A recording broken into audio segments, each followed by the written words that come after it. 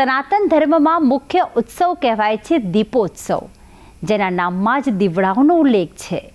એવી દિવાળીનો પર્વ જ્યારે ચાલ આવી રહ્યો છે, ત્યારે એકાદશીથી દરેક લોકો પોતાના આંગણામાં દીવા કરવાનો આરંભ કરશે. ત્યારે કેટલા દીવા કરવા અને દીવા કરવાથી કયા થાય છે લાભ? જાણકારી આપશે શાસ્ત્રી પ્રફુલભાઈ પંડ્યા. તન્મે મનઃ શિવ સંકલ્પમસ્તુ જય ભગવાન મિત્રો, હું છું પ્રફુલભાઈ પંડ્યા. ભક્તિ સંદેશ કાર્યક્રમની અંદર આપનું સ્વાગત છે. મિત્રો, હવે દિવાળીનો જ્યારે દિવસો આવે છે પરંપરાના જ્યારે દિવસો આવે છે, ત્યારે દીવાનું પણ એક વિશેષ મહત્વ આપણા શાસ્ત્રમાં રહેલું છે. જ્યારે પણ આપણા ત્યાં તહેવાર આવે છે, ત્યારે આપણે કરીએ છીએ દીવા. અને દીવા કરવાથી મનુષ્યનું કલ્યાણ થાય છે. પરંતુ અત્યારે ઘણા બધા અલગ અલગ પ્લાસ્ટિકના દીવા આવી ગયા લાઇટો આવી ગઈ, ઘણું બધું આવી ગયું. પરંતુ શાસ્ત્ર એવું કહે છે કે જ્યારે ઘરની બહાર રાત્રિના સમયમાં, પરબડાના દિવસોમાં દીવા મૂકવાની વાત આવે, ત્યારે હંમેશા માટીનો દીવાનો ઉપયોગ કરવો જોઈએ. માટીનો દીવો એ માટે શાસ્ત્ર એવું કહે છે, માટીને મૃતિકા શબ્દ કહેવામાં આવે છે. અને માટીના દીવામાં જો દીવો કરવામાં આવે તો દેવતાઓ ખુશ થાય છે. બાકી લાઇટ અને સિરીજોથી મનુષ્ય ખુશ થાય છે. પણ ભગવાનને જો ખુશ કરવા હોય તો જે ઓરિજિનલ જેને માટીનું કોડિયું કહેવામાં આવે છે, એ કોડિયાને પાણીથી શુદ્ધ કરીને કોડિયામાં દીવો કરીને ભગવાનને અર્પણ કરો. પ્રભુ પ્રસન્ન થાય. કેમ કે માટીમાં રહેલી છે પંચતત્વની શક્તિ. અને આપણે જાણીએ છીએ કે જ્યારે હવે દિવાળીનો પર્વ આવે ને એટલે અયોધ્યાની અંદર પણ હજારો લાખો દીવા કરી અને અયોધ્યાની સજાવટ કરવામાં આવે છે. ભગવાનને ખુશ કરવામાં આવે છે. અને એવું કહેવાય છે કે ભગવાન પણ જ્યારે અયોધ્યામાં આવ્યા હતા, લંકામાંથી અયોધ્યામાં આવ્યા ત્યાં અયોધ્યાવાસીઓએ દીવા કરી અને પ્રભુને સ્વાગત કર્યું હતું અને ત્યાર પછી તે દિવસોને આપણે દીપોત્સવ અને દિવાળી પર્વ તરીકે ઓળખવામાં આવે છે. કેમ કે અયોધ્યાના વાસીઓ માટે જ્યારે ભગવાન આવ્યા ને, એ એનાથી શ્રેષ્ઠ કોઈ દિવસ નહોતો અને તે દિવસને આપણે દિવાળી તરીકે ઉત્સવ કરવામાં આવે છે.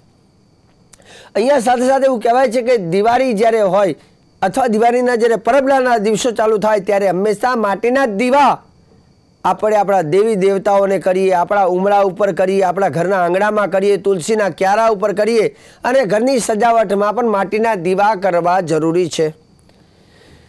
ઘણા બધા લોકોના મનમાં પ્રશ્ન ઉદ્ભવિત થાય કે શાસ્ત્રીજી, તેલના દીવા કરવા કે ઘીના દીવા કરવા? શાસ્ત્રમાં તો બંનેનું મહત્વ કહેલું છે. ઘીનો દીવો પણ કલ્યાણકારી છે. દિવ્યા, દક્ષિણે, ઘરતમ ભામે તૈલમ એનું પણ પ્રમાણ આપેલું છે. પરંતુ એક તમને શ્રેષ્ઠ ભાષામાં કહી દઉં, તમારે દીવા ભગવાનના કરવાના હોય કંઈ પણ. જેમ કે ઉગ્રકોટી એટલે જે ગુસ્સાવાળા દેવી દેવતાઓ હોય.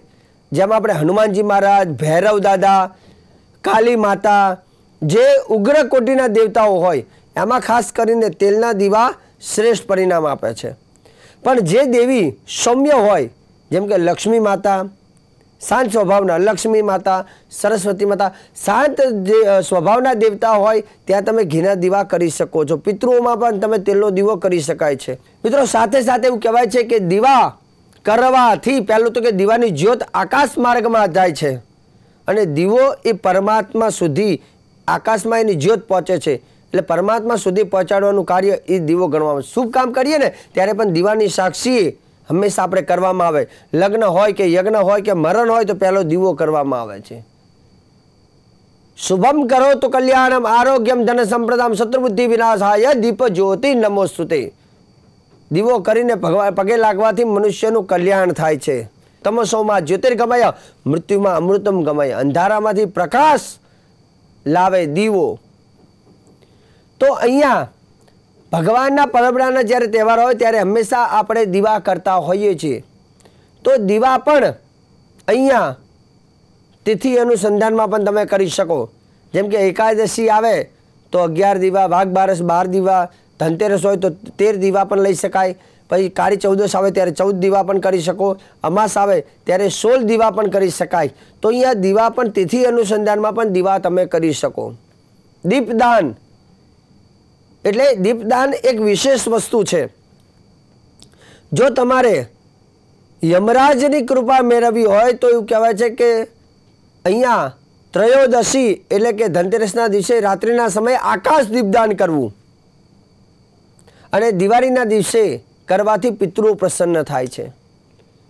જો દિવાળીના દિવસે તમારે દીપદાન કરવું હોય, મતલબ કે એ દિવસે શું કરવાનું? રાત્રિના સમય, સાંજના સમય સૂર્યાસ્ત થયા બાદ સ્નાન કરી તમારે આસન લઈને આકાશની નીચે, એટલે ઘરની બહાર અને આકાશની નીચે તમારે બેસવાનું. અને ત્યાં એક સાથીઓ બનાવવાનો, કંકુથી અથવા ચંદનથી સાથીઓ બનાવવાનો અને એ સાથિયામાં તમારે પાંચ દીવા મૂકવાના. જેમાં ચાર બાજુ, ચાર દીવા ને એક વચ્ચેના મધ્ય ભાગની અંદર જે સાથિયાનો જે મધ્ય ભાગ જે છે, ત્યાં એક દીવો અને ચાર બાજુ આવી રીતે પાંચ દીવા કરવાના, તેલના દીવા પાંચ કરવાના. અને ત્રયોદશી એટલે કે તેરસના દિવસે જો આ પાંચ દીવા, આમ તો પરબરાના દિવ- દિવસોમાં દીવા કરવાના, પણ વિશેષ આકાશ દીપદાન, જે વિશે હું તમને કહું છું કે આકાશની નીચે જો તમે દીપદાન કરો છો, તો એનાથી પણ એક સુંદર લાભ થાય છે. કેમ કે શાસ્ત્રમાં લખ્યું છે, મૃત્યુના પાસા હસ્તાભ્યામ કાલે ન ચ મયા સહ ત્રયોદશ્યામ દીપદાનાથ સૂર્ય જહ પ્રિયતા મિતિ એવું કહેવાય છે કે ત્રયોદશીના દિવસે, તેરસના દિવસે જો આ રીતે પાંચ દીવા આકાશ નીચે જો કરવામાં આવે છે, તો મૃત્યુના પાસ હસ્તાભ્યામ જે મૃત્યુના દેવ ગણવામાં આવે છે, જેને યમરાજ કહેવામાં આવે છે, એ યમરાજ તે વ્યક્તિને પ્રસન્ન થઈ અને વરદાન આપે છે. અને તે વ્યક્તિનું અપમૃત્યુ થતું નથી અને મૃત્યુ બાદ પણ એની અસદગતિ થતી નથી. કેમ કે આ પાંચ દીવા એ યમરાજ પ્રસન્ન થાય છે. સાથે સાથે આ પાંચ દીવા કરવાથી લક્ષ્મીજી પણ પ્રસન્ન થાય છે. ધનતેરસના દિવસે દીવા કરવાથી ધનના દેવી દેવતાઓ પ્રસન્ન થાય. કાળી ચૌદશના દિવસે દીવા કરવાથી જે ઉગ્રકોટીના દેવતાઓ ભૈરવ, ઘંટાકરણ ભગવાન, કાલી માતા, ચાર રસ્તાના જે ક્ષેત્રપાલ દેવતાઓ પણ પ્રસન્ન થાય છે. દિવાળીના દીવાઓ, દીવો કરવાથી માં શારદા પ્રસન્ન થાય છે. સાથે સાથે એવું કહેવાય છે કે દિવાળીના દિવસે જો પાંચ દીવા આકાશની નીચે જો કરવામાં આવે છે, તો પિતૃ પણ પ્રસન્ન થાય છે. નમઃ પિતૃભ્ય પ્રેતેભ્ય, નમો ધર્માય વિષ્ણવે, નમો યમાય રુદ્રાય, કાનતાર પતયે નમઃ. એવું કહેવાય છે કે દિવાળીના દિવસે પણ જો પાંચ દીવા આકાશ નીચે કરવામાં આવે, તો એનાથી પિતૃઓ પણ પ્રસન્ન થાય છે. તમારા જે પૂર્વજો કદાચ અતૃપ્ત હોય, તો એ પૂર્વજો નારાજ હોય, તો દિવાળીના દિવસે પાંચ દીવા આકાશ નીચે કરવા, બીજા દીવા આપણે કરીએ છીએ તો કરવાના, પણ આકાશ દીપદાન કરવું હોય, તો પાંચ દીવા ખાલી સાથીઓ કરી. અને એ પાંચ દીવા તમે આકાશ નીચે કરો છો. દિવાળીના દિવસે તો પિતરો પ્રસન્ન થાય, તેરસના દિવસે કરો છો, તો યમરાજ પ્રસન્ન થાય. અને જો તમે ચૌદસના દિવસે પાંચ દીવા જો આકાશ નીચે કરો છો, તો એનાથી ઉગ્રકોટીના દેવી દેવતાઓ પ્રસન્ન થાય છે. તો આ રીતે દીપદાનનું વિશેષ મહત્વ છે. સાથે સાથે આપણા ઘરના આંગણામાં, તુલસીમાં અથવા ઘરનું જે જે ઉમરો હોય ત્યાં અને ઘરના મંદિરમાં પણ આપણે માટીના દીવા કરી અને દેવી દેવતાઓને આપણે પ્રસન્ન કરતા હોય છે અને દીવો કરવાથી દેવ પ્રસન્ન થાય છે. દીવો કરવાથી દેવ હાજર થાય છે અને દીવો કરવાથી મનુષ્યનું આવનાર નવ વર્ષ એ પ્રકાશમય અને નવ વર્ષ એ શુભ બને છે. કેમ કે દીવો જેમ અંધારાને નષ્ટ કરે છે, એમ નવા વર્ષમાં આવનારી ઉપાધિઓ, મુશ્કેલીઓ એ ટળી જાય છે. આ દીપદાનનું વિશેષ મહત્વ છે. તો ચોક્કસ દિવાળીના પર્વમાં ઘરના આંગણામાં સજાવી અને દીવા કરી અને દેવતાઓના આશીર્વાદને આપણે પ્રાપ્ત કરવા જોઈએ. મિત્રો, સુંદર મજાની જાણકારી મેં તમને આજે કહી છે ને, આગળ પણ ધનતેરસને લઈને કાળી ચૌદશ અને દિવાળીને લઈને શ્રેષ્ઠ મુહૂર્તોને ક્યારે કરવું, કઈ રીતે કરવું, સંપૂર્ણ જાણકારી ભક્તિ સંદેશ કાર્યક્રમની અંદર હું તમને આપતો રહીશ. કાર્યક્રમ જોવાનું ચૂકતા નહીં. મને આપો રજા. જય ભગવાન.